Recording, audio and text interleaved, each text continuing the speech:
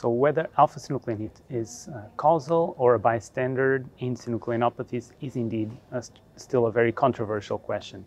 Uh, I just came out of a session where uh, the last speaker actually argued strongly against the causal uh, relationship uh, between alpha-synuclein aggregation and disease in, in Parkinson's and in other synucleinopathies. It was really clear, making it a strong point that we do not have evidence that uh, we should target alpha-synuclein as a therapeutic uh, strategy.